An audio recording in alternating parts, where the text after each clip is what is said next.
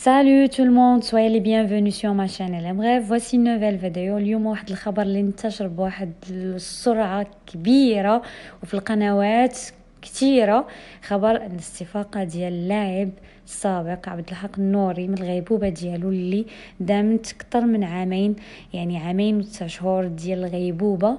فهاد الخبر هو غير صحيح هو ليس بصحيح هو كيعود هاد الخبر لسنة 2020 فاش كان دار حركة من الغيبوبة وإنما دار واحد الحركة بالحاجب ديالو يعني أنه كيحس بالناس اللي دايرين بيه.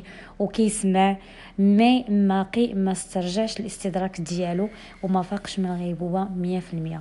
donc الخبر كان مجرد إشاعة والأخ ديالو خرج على المنابر وتحدث على الخبر وقال أنه لا لا, محل له من الصحة وأنه مجرد إشاعة وأنه هو فقط حاس بالناس اللي دايرين به.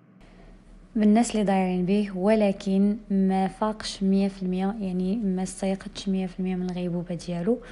كنتمناو ليه الشفاء العاجل وكنتمناو إن شاء الله إنه يستافق من الغيبوبة ديالو إنه يكون هاد المرة إنه يكون خبر يقين إن شاء الله. كنتمنى لكم رمضان كريم و on se verra prochainement pour la prochaine vidéo. Au revoir.